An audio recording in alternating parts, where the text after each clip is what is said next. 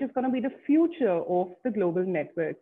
Well, up next is going to be Mr. Per Pedersen, uh, founder and creator by the network, who will be discussing the future of global networks.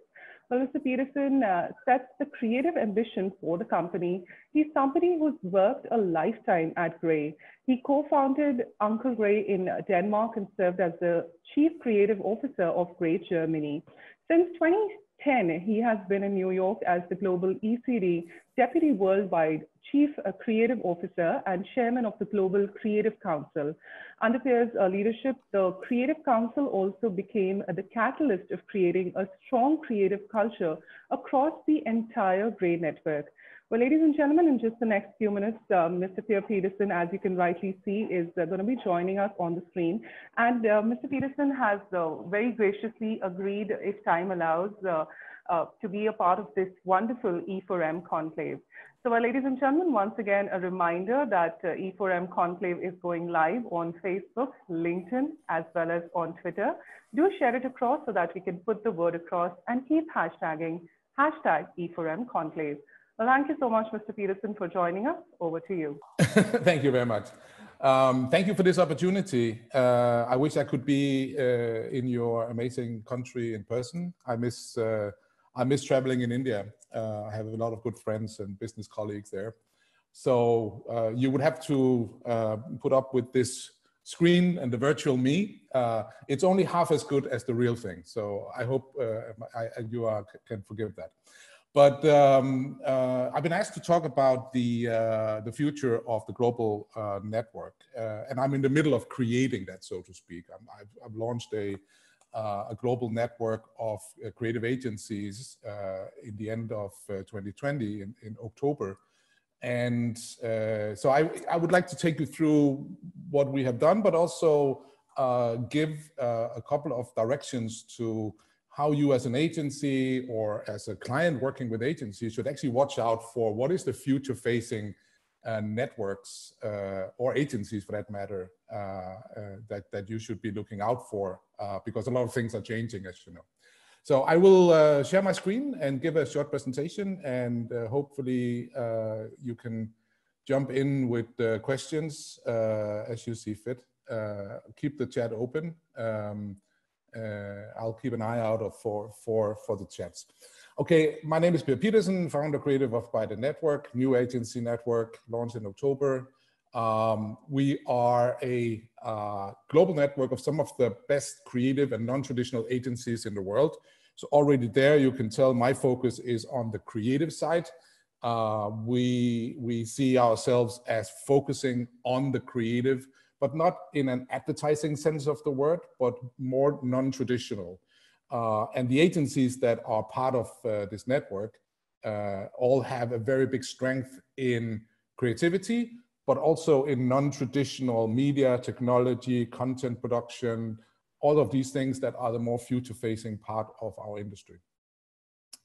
Um, the biggest difference uh, between us and, let's say, a WPP or, or, or an Omnicom is that this network is owned by independent agencies, uh, highly creative, uh, carefully curated, uh, and that makes a huge difference uh, in the way we run things, uh, as it is creatives that are actually owning uh, this network. it's also a, a, big change in philosophy that instead of this, this usual, the usual holding company structure where you're trying to build as much profit in the holding company as possible, our philosophy is actually the reverse. We want to keep as much of the profits and decision making in the local agency as possible. Uh, and, and we are much more democratic. We also share our profits uh, with the owners that are the agencies. And we collaborate as individual agencies around a higher purpose that brings us together instead of being brought together by uh, a centralized uh, business structure uh, determined by, by money. So that is a very different approach to, to the way of working. Um, we thought this would be a small network uh, of a few people, but turned out that we are growing really fast. We are now 500 creatives, uh, covering 40 nationalities, working at 20 different agencies and in 25 different markets. So things are moving really fast for us. Uh, latest member of uh, by the network is actually in India. Uh, Atom Group uh, joined uh, only uh, last week as part of, of the network, and we are already actually we cheated a little bit. We worked together in a couple of months leading up to this, and and super successful collaboration with some interesting up and coming creative people uh, with, with big experience from the Indian market. We already won uh, together uh, a, a, very prestigious big uh, global pitch with Atom uh, that we are still celebrating. Um, just an overview of the network. So as you can tell, we are in all corners of the world and we are covering all um, modern creative aspects of, of our industry. Uh, so it's not, this is not about advertising. We have agencies focusing only on branding or design building new, uh, new concepts, uh, companies that are focusing on music collaborations, uh, content production, TV production, and, and all sorts of things that are part of the modern palette for, for the marketer. So instead of having this sort of uh, everybody is the same within the network. That's sort of the, the, Starbucks philosophy of running a network where no matter what office you walk into, they all serve, serve the same coffee, so to speak uh, we celebrate the difference between the agencies and are putting agencies together that are covering uh, different skill sets in order to create something completely different uh, than, than what you would expect. Uh, and that is a big part of how we work. Um, we already work for a number of big prestigious clients around the world. Uh, and this is growing. We, we secured uh, two big pieces of global business only last week. so that is, it's actually rapidly growing uh, and, and, and being incredibly successful already. Um, we come from a creative point of view. All the agencies in By the Network is owned by creative people. Uh, so it's no secret we live and breathe for doing better creative work. That is that is our philosophy. That is what we that's where we come from. That is not to say we don't acknowledge other parts like media, technology, uh, digital, social, all of these things we just said our focus is on the ideas, uh, not so much on, on the, the implementing or the technology behind it. Uh, we would rather collaborate with experts on, on that um, uh, going forward. Um, so just an example, because I think as a creative, you have to show your work. Uh, here's an example uh, that just gives you a feeling of what kind of work that we're doing in, in the network. This is from small agency in, uh, in New York for diesel.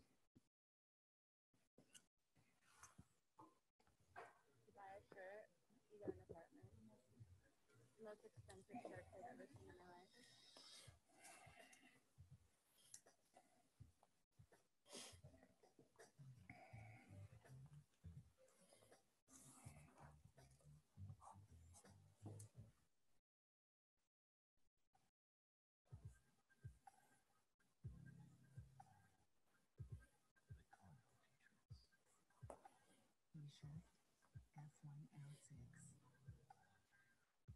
100% pure cotton. Price $1,599.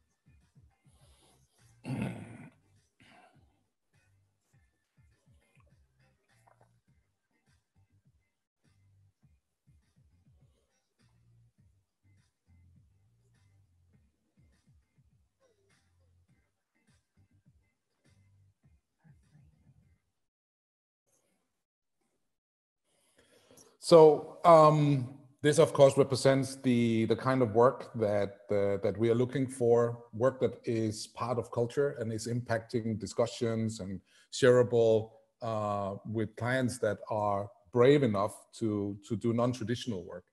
Um, just to to sort of that that is enough about us actually, but to talk about uh, why we did this and and how how did we come up with uh, a, completely different kind of uh, of network.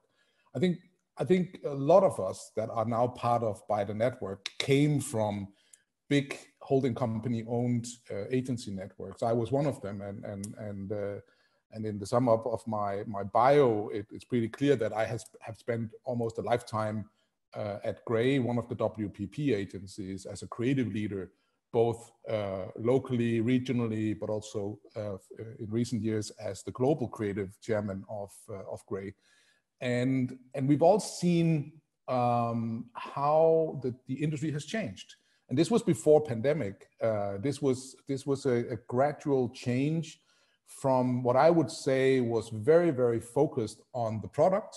There was a certain pride around the creative product that we were producing. Everybody was was clear that our existence depended on depended on that, and onto a, a different kind of mentality that was now running uh, the big uh, holding companies. Uh, and I gave a speech in Cannes a couple of years ago at Cannes Lions, where I basically said this, that the agency model as we as we all knew it is is dead and this was two years before the pandemic uh, this is this has just become even more true as the pandemic pandemic has hit the world uh, that the way we think about what an agency is and how we work with our clients is practically outdated uh, in so many ways. And it's going to affect um, our, our ability to survive as an industry, uh, how, how, uh, how we are going to change that, uh, because change is inevitable. And, and whether we are changing as a consequence of the pandemic, uh, change is, is going to be necessary for the creative industry to survive and for uh, global creative uh, networks to exist in the future that actually are offering creativity and are not just sort of a an appendix to a consultancy agency or a technology company or a media company because that is unfortunately uh, the, the trend uh, for our industry. Um, I think one of the problems that I have seen is that the big, big networks have uh, all turned corporate. And uh, and walking around in big agencies uh, unfortunately this was this is not an uncommon sight. This was of course at the time when when people could still go to the office. Now it's a little bit different. Um, but but these sort of uh, old-fashioned ways of working that doesn't really belong in a creative world where people should collaborate in an inspiring atmosphere and exchange ideas um, you shouldn't really have small cubicles where people were sort of isolated with their computers. But unfortunately, uh, and I think if you have walked around the halls of big agencies, this is a sight uh, that you see uh, way, way too often. We have we had floors at Grey that actually literally, literally looked like this, and, and I was almost ashamed to build to bring clients to those floors because they would basically say, uh, you know, are you are you creative or not? Uh, what what kind of company is this? But but uh, but this happened and, and and had a huge impact in, uh, impact on everything that we're doing uh, in the creative industry.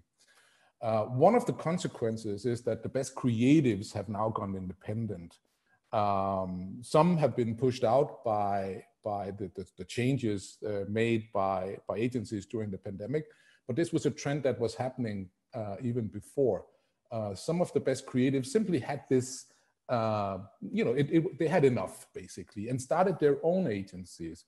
As, uh, as one of the most creative people I know uh, told me, uh, this, this is, uh, this is a, a real quote, uh, you know, I had this feeling of, of, of, of giving my best to an agency that didn't really appreciate my, the creativity that I brought to the table. and that feeling uh, leads to uh, the best creatives turning independent, either with boutique agencies, like we have seen with uh, with GUT in uh, in uh, in the Americas, with with Anselmo Ramos uh, leading that, or or Uncommon in in London with with Nils Leonard. But there has been a, a number of these uh, of these independent agencies, and also a lot of good creatives have now gone more or less freelance, uh, and and is available in a completely different way than before.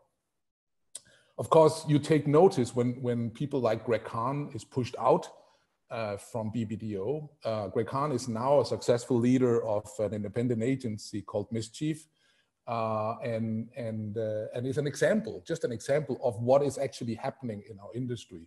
Uh, accessing the best creatives doesn't doesn't necessarily happen through the big uh, agency networks as it did before.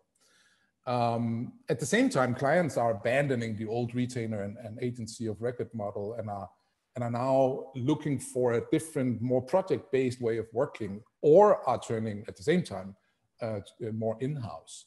Uh, and uh, and this is uh, this paves the way for what I would say is a golden age for a new breed of creative agencies, including a new breed uh, of uh, global networks like like by the network uh, as an example.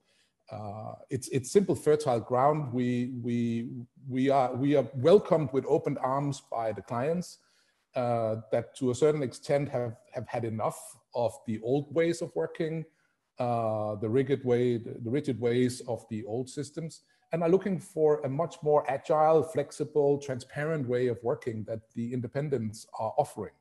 Um, and, and so I think we're going to see that in every market in the world, uh, much more focus on independent agencies uh, that are closer to the core product of creativity and where you can access the best uh, and most experienced people. And I'm not talking about small boutique offices that are doing the flower shop on the corner, that kind of agency, or the tattoo shop down the street. No, we're talking about independent agencies that are now winning big global pieces of business uh, that uh, that that in a normal world would have gone to the big uh, old-fashioned networks. So this is a this is a massive structural change that that are going to affect uh, the industry. Um, I think the pandemic accelerated uh, this inevitable structural change in the creative industry. Um, and uh, to use Martin Sorrell, it's also, he's, he's an old friend and colleague uh, of mine from WPP.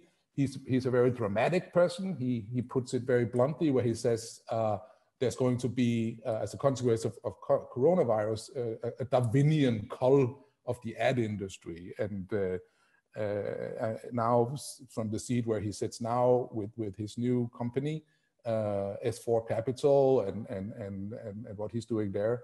Uh, he, he's become a very sort of a very open-minded uh, critic of, of what has been going on in, in the industry that he actually helped build himself. Um, but I think to a certain degree he's right. Uh, certainly the agency that I used to work for until recently, I left Grey this summer, only to read very shortly after that the that the brand will be retired uh, uh, under the, um, the, WPP sort of umbrella as as it's merged under the AKQA group. Um, so I think, and it was pretty clear also from hearing what Mark Mark Read had to say that there has been a lot of consolidations, a lot of offices that are no longer uh, there, and of and, and and agency networks uh, that have either been merged or has ceased to exist. And I think we have only seen the top of the iceberg on that. So uh, we have to imagine a world with, with uh, a lot of uh, big name agencies, uh, also networks that will be no longer in, in the market in a very near future.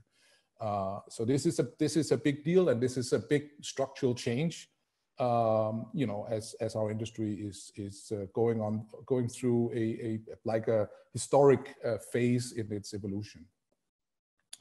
Um, and then this is this is as inevitable as as anything. Uh, new technologies are already already enabling new ways of working, uh, and and I predict that even on the on in the near future, uh, technologies uh, of various kinds will fundamentally change our creative industry, uh, you know, to, to, almost to become unrecognizable.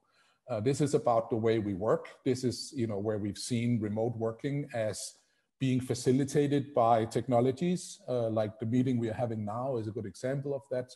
We wouldn't have thought about it like that in, in uh, before the, the pandemic, but it's now possible. And, and we're going to see a lot more solutions on enabling remote work uh, and, and, and uh, accessing people across the world in different ways, just like we have seen uh, Fiverr uh, have, have revolutionized the, the way uh, freelancers can be accessed uh, digitally, remotely from all over the world.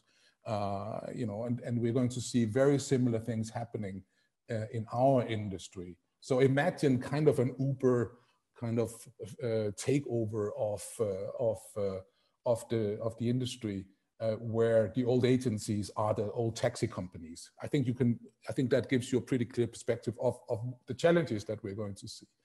This might be driven by uh, the old uh, holding companies. I, I, you know, that I, I would think they have plans for that but also expect to see new players uh, enter uh, the industry with completely different approaches to how people can find each other, work with each other, deliver solutions. Uh, we've already seen this in gaming and film production and, and other uh, sort of fringe areas to our industry. So this will happen.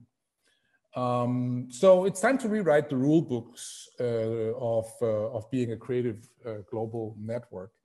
So I, I prepared a few rules for the global networks of the future. Uh, so hopefully Mark uh, is still on the line so he can take notes.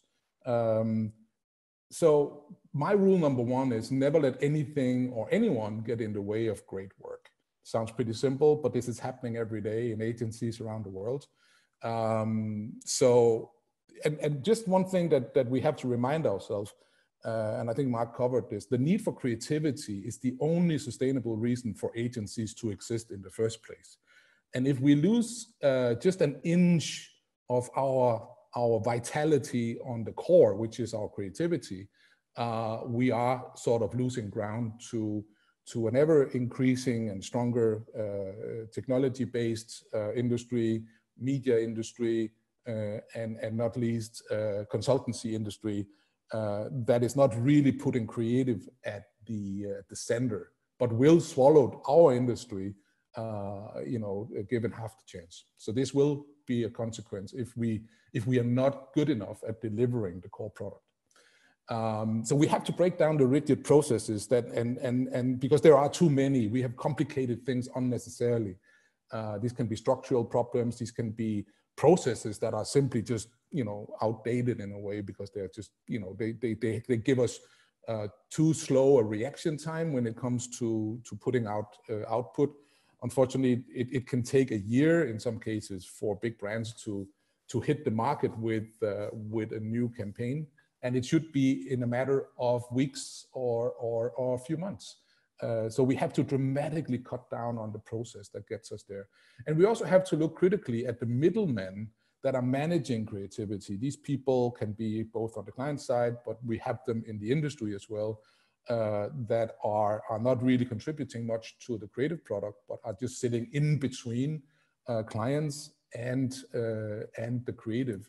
Uh, and, and are managing this. Uh, and I use managing here as a, as a negative thing because what we should be focusing on is unleashing creativity in everything we do versus sort of holding back uh, on, on things by managing it. So that is a philosophy that I have and something I think will determine whether you are your agency or your network will be uh, future facing or not. So there's a lot of things change in the way we work. Um, then, uh, sorry for, for showing uh, cash like this, but I think we are too well behaved in our industry. We have been very polite. I think we, we need to be much more uh, willing to, to change things. Uh, and, and I look at, at other industries where you have an Elon Musk changing everything by being anything than, than well behaved. I mean, again, um, we should be the industry uh, of, uh, of, uh, of the eccentric and the interesting people. Uh, and and not uh, you know uh, being the sort of well-behaved, boring business people. that is that is not our job as a creative industry. We should be challenging the world we live in. We should be opinionated about it and and, and seek to change stuff around us. And that means that we don't follow the rules all the time. So don't be afraid to stand out. uh, with your opinions, your work, and or, or doing stuff uh, that puts you at the center of attention. There is there is there's simply not enough uh, creative uh, people uh, that are speaking out about stuff. I think we are we have lost a generation of uh, of creatives that have have sort of tried to fit in, in instead of of, of standing out. And at the end of it, standing out is uh, part of, or should be part of the DNA of, of any creative person. Just look at the people that created our industry, the, the Hegartys and, and, and, and the Ogilvies of the world. These people did not hold back on, on opinions. Uh, and, and I think when I look out in the industry right now, I'm, I, I lack uh, this mentality of wanting to change stuff and, and, and have opinions about what we're doing. Um, so this sounds a little crazy, a little, maybe, but but work with brave clients, um, you know, uh, uh, that have uh, brave brave strategies, uh, and um, and I think we have a little bit of a tendency in our industry to sort of blame the clients for everything. You know, our clients are not really looking for creativity in our market. It's a little bit too conservative, so forth. But I think we have a job as creatives to enable our clients to become the best clients in the world. And I think it's possible by working in a different way, much more face to face, getting our hands dirty uh, as creatives, uh, understanding the business issues of our clients, getting deeper into the industries that they are part of and the challenging challenge, challenges that they are facing.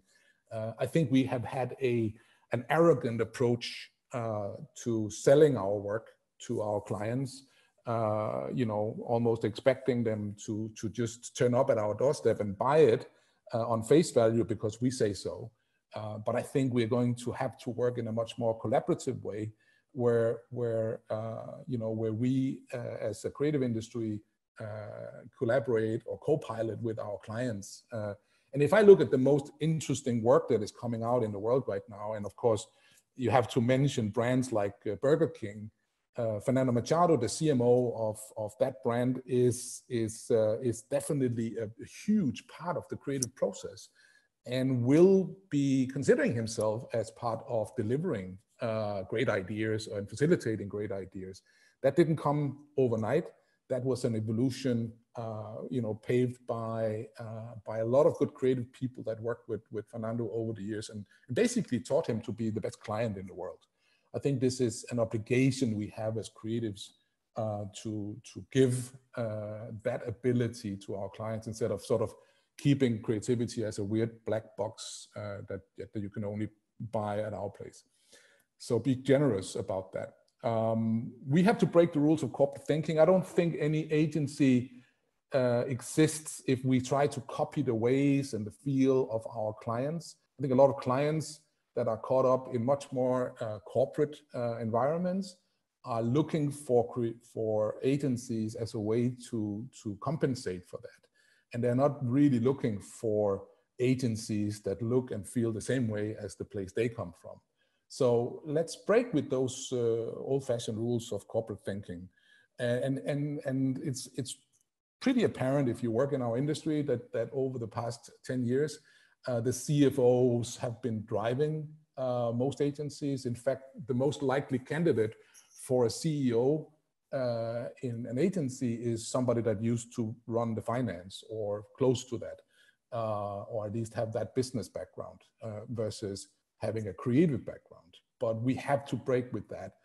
right now, we are very CFO driven in every, everything we're doing, and we should be idea driven. We are part of of the, the idea uh, world. And this is a little bit like if you compare us to, to Apple, uh, when Apple uh, lost sight of their, of their creativity, when, when, uh, uh, when jobs were, were not, no longer there, uh, they, they, lost, they lost everything. And, and only when you, they turned back to that focus that was at the core of what that brand was about, they created the most valuable brand in the world.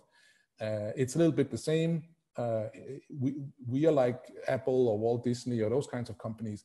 Uh, you cannot be a CFO uh, driving things. You need to have uh, the, the background in the product. Uh, to fully uh, understand and, and, and drive an agency network, in my opinion. So put creativity at the center and creative people at the top. Uh, we've done that. Uh, our entire network is uh, based on creative people that are running things. Uh, it's there is a tendency to think that you can't trust a creative with money. I think it's a big mistake. I think creative people will easily understand uh, how to make the right decisions and, and they will make the right decisions from the point of view of creativity, which is at the core of what we're doing or should be doing as an agency. So this is the only way. Uh, let's start to see more creative people run the big networks. Um, just ask yourself uh, how many restaurants you would uh, walk into to meet the business manager. Uh, you're going to you want to talk to the chef. You want to talk to the to the people that are creating uh, the food that you want to enjoy. Uh, that is why you walk in there, not to talk to the business manager. Uh, but we are showing the business manager a little bit too much. Just, just after this, do a quick search of uh, agencies or agency networks and look at the lineup of uh, people they present. Uh, most of the time, yeah, there's a couple of creatives, but most of the time they're showing anything but creative people. And I think it's a big mistake. Uh, you know, if I was a client, I would look at who's running uh, the agency that I'm working with. Uh, is this run by a creative person that understands the product that I'm buying? Or is this run by a business person that is just looking for the, the, the, the profit part of it? Uh, I think I think it's a big, big mistake, uh, mistake, mistake to walk into a restaurant that is driven by business people. Um, this is a provocation. Uh, I think a lot of people uh, say creativity equals advertising in our industry, but it's in fact it's not. In fact, I would say if it looks, speaks, or feels like advertising, it's pro it, it probably won't work, and that means that you have to do anything but advertising. Uh, of course, sometimes you have to do a TV commercial if that is the right thing to do, but but you can't start there. You have to think beyond all of that and look at how the consumer is actually uh, using communication uh, which is much more engraved into culture and, and technology and our mobile phones and all the stuff that is going on around us. And that's where we need to com be communicating, and that's where we need to be creative, uh, not uh, from TV out, which is sort of the feeling you get when you walk into the old fashioned agency still. And, and you would say, uh, you know, I heard, uh, you know, how Mark Read said that you know half of the media spend is digital, and I and, and and I still don't think that has been fully reflected in the presentations that we give our clients as agencies. We still lead in with the good old uh, ideas uh, on on TV commercials and stuff like that, and I think it's a mistake. Um, I can just just as an example of the kind of work. Again, this is a creative talking so I can show you work. This is a, an example of a piece of creative work that we just launched uh, in, from our agency in Sweden called FAM. Uh, it already won the uh, Eurobest Grand Prix. Uh, so have a look. This is the kind of thing that is, is non-traditional advertising, but is going to shape uh, the future of, of creativity.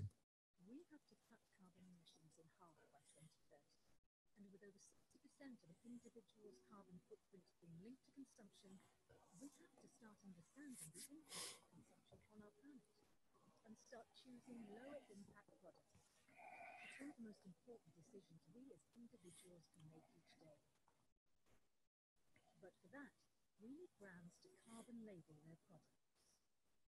Unfortunately, brands have a really hard time calculating their product's carbon footprint. This is especially worrisome since small and medium-sized brands that want to be transparent about their product's impact simply lack the resources to do so. Doconomy is a Swedish fintech that provides digital services to help consumers reduce the footprint generated by their consumption. With this in mind, Doconomy launched the 2030 Calculator, a tool allowing any brand to calculate the carbon footprint of their product. It cuts down on the time spent on calculating from weeks to minutes, and the cost from tens of thousands of dollars to free. The 2030 Calculator is an open platform where each brand that performs a calculation contributes their own emission data. Same data and methodology to calculate their product's carbon footprint. Because when facing the climate crisis, no brand competitors. The only real challenge is the ever-increasing carbon emissions caused by irresponsible mass consumption. Since our beta launch, world-leading brands have started calculating carbon footprints, and even world-leading institutes and organizations are reconsidering making data more accessible, hopefully representing a tipping point to all impact data available to everyone for free. I think it's important uh, this kind of work, and it, it it's the kind of uh, thinking that that doesn't look or feel like advertising, but can give brands uh, a huge advantage uh, at the at the sort of moment of truth when you have to decide between brand A or brand B, uh, and and and use the insight of how more and more consumers are using uh, carbon footprint as a as a determining factor, not just price of of the product and quality and stuff like that. Um, this uh, again, I think creativity has been has been associated with uh, the ability to win a few awards. I think the agencies should stop chasing awards with fake work. Uh, I think our job is now to, you know, after the pandemic, I think also the award shows have to rethink their uh, role in, in our industry. Uh, I think it, it's been a maybe a very healthy year of not having as much award shows and Cannes was canceled uh, gave them a chance to rethink the whole thing and also for us to rethink what is the role of these award shows. Uh, I think the best way forward is to do our best work for our for our biggest clients and and and and, and then win the awards with that work instead of doing specific work uh, only for the award shows. Uh, truly for for a network like by the network we are we are, we are absolutely not interested in, in, in, in chasing awards with uh, dedicated award work. We will only submit work to the award shows that actually came out of a collaboration with our clients. And I think that should be the, the future for, for the networks as well. It will, it will add more credibility uh, if we do it like that, in my opinion. Um, this is for the leaders in the big networks. Get out from the boardroom, down from the high horses, and uh, and build a network of human beings. Which also means that you have to be a human being yourself. Uh, I think we've seen uh, a little bit too many middle-aged uh, men in dark suits running the creative industry from a from a fancy corner office in a fancy building on a very expensive address in a very expensive city. I I think uh, those days are over. Um, I think we need to see much more diversity in, in, in leadership. As I said, I would call for more creative people running things, give it more color, give it more diversity on sexuality, on, on gender and, and, and geography. Uh, and, and why on earth is it necessary to run big networks out of London or New York? Um, I think it's possible to, to do it uh, from anywhere in the world certainly we've we've decided not to have in the network a an, old-fashioned headquarter. Uh, we are born during the pandemic, so we we can run this network from anywhere uh, because we are connected uh, via technology. But uh, right now, uh, I'm speaking from from Copenhagen in Denmark, which is sort of suited in the middle of of uh, time zones, much better than than New York actually. So it's doable, and and I think we we have to see this much more. Um, final two: build a network of talented uh, people with a shared passion to do great work. Don't underestimate the value of of, of culture. I think we have a little bit too little of it in the big network. The big networks. It's more about money. Uh, I think we should have much more shared passion, much more shared culture, uh, it's, a, it's going to be one of the biggest challenges for the networks in the future to really build that sort of shared passion to kick ass. Um, and then break down all these borders and silos that still exist, although the lines are getting much more blurred, uh, and start work together, start working together. Um, you know, I, I show this, I'm from Denmark, where we, we have this sort of very democratic, very Nordic approach, very collaborative approach to life. Uh, my ideal network looks a little bit like this. It's a place where we all gather around uh, the bonfire, tell each other stories, uh, can work as friends, and, and share a good time together because that is where good ideas happen. They happen at the bonfire when people that like each other and wants to work with each other come together and exchange minds and, and, and ideas. Uh, and it's not more formal than that that is actually what we are, that what we should strive for. Human beings, creative, talented people that are sharing and collaborating and making great work for our clients in a, in a way that is gratifying, not just for our clients' business, but also gratifying for us as creatives. Uh, and that I think is the only sustainable approach to what we are doing as an agency instead of instead of making it too complicated.